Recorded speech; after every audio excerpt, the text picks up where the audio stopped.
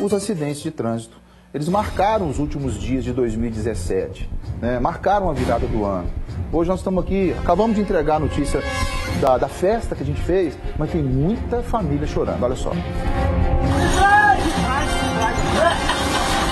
Um caminhão tombou na rodovia Fernão Dias e deixou um congestionamento de pelo menos 9 quilômetros na região de Pouso Alegre.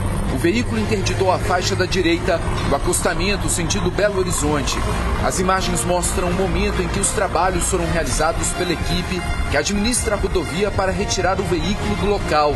Segundo informações, o acidente aconteceu próximo a Sumidenso. O veículo transportava uma carga de copos de vidro.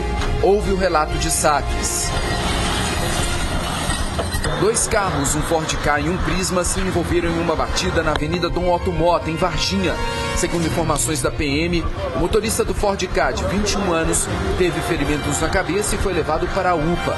Ele não apresentou o documento do carro. O veículo foi apreendido.